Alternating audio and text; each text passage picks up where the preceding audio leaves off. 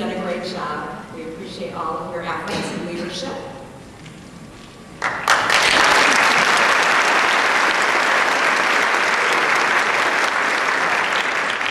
Just want you to know that the proceeds from tonight's performance will go to benefit the patient care fund. It's very important to the hospice and to those that need it. Thank you. Stepping into Steve's role in January, another gentleman I'd like to introduce to you this evening is Eric Touchloff. He is the CEO of Sabre Corps. Eric, like Steve, has been with us from the very beginning. Eric.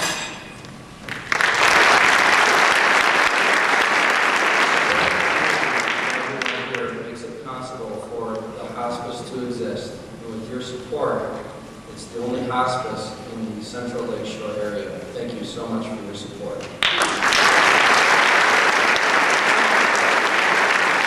Thank you so much, Steve and uh, Eric. It's a- a privilege to have a chance to partner with you uh, on behalf of our hospice organization.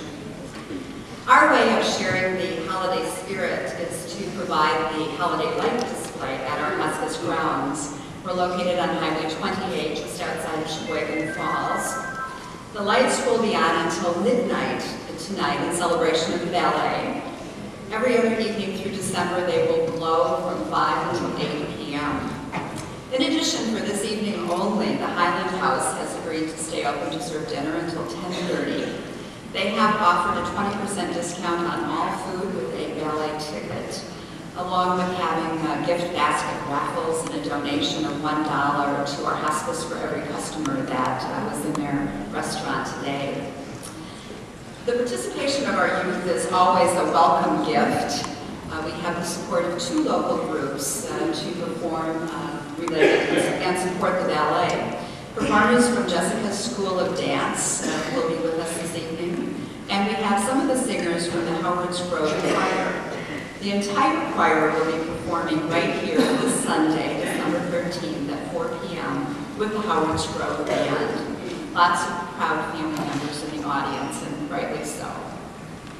Be sure to check out that show and the other holiday shows here at the Weill Center. We are honored to work with General Manager Randy Schwerer and his team. The Weill Center was recently named one of our community partners, a relationship that we very much enjoy.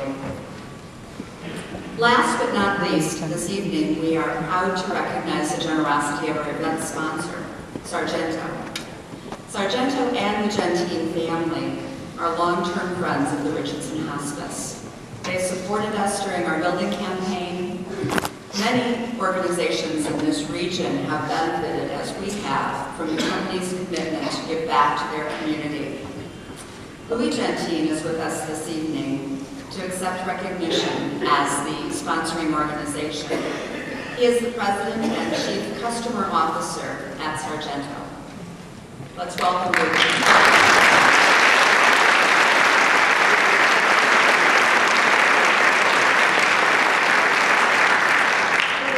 On behalf of the patients and families served through the Sharon S. Richardson Community Hospice, our heartfelt thanks to you, your family, and the others at Sargento who have made it possible for us to provide the priceless gift of hospice through your generosity. We're uh, so privileged to receive your support.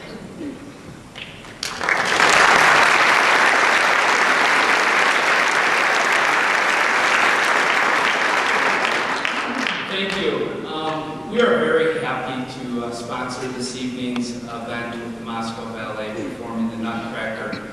And also very happy to see the, the amount of people here in the auditorium, even with the inclement weather, you know, showing your support for the Sharon S. Richardson Hospice Center.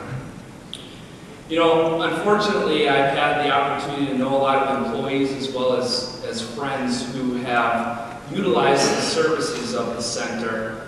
And the one thing that they all tell me time and time again is that that center, we should be very proud and thankful for having a facility like that within our community.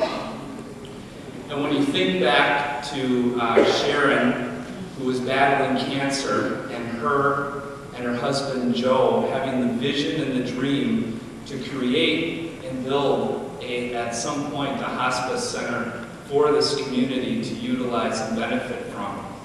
And when she had passed away in May in 2004, her husband Joe took on the initiative to fulfill that dream and that vision. And with the support, the unwavering support of this community, we were able to build, in honor of Sharon, the Sharon S. Richardson Community Hospice Center.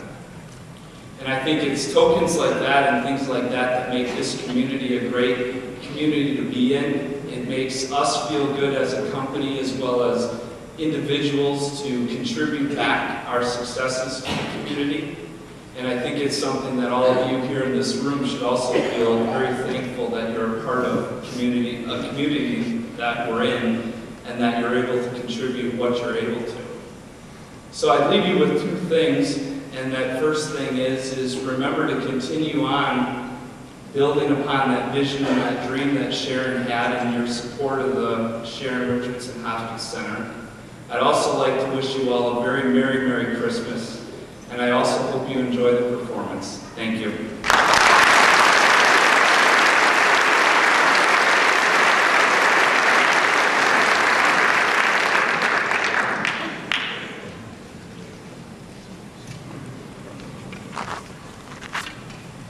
Well, without any further ado, we're going to get on to the performance this evening. Thank you so much for being here, and it's my pleasure to present Who will introduce the ballet.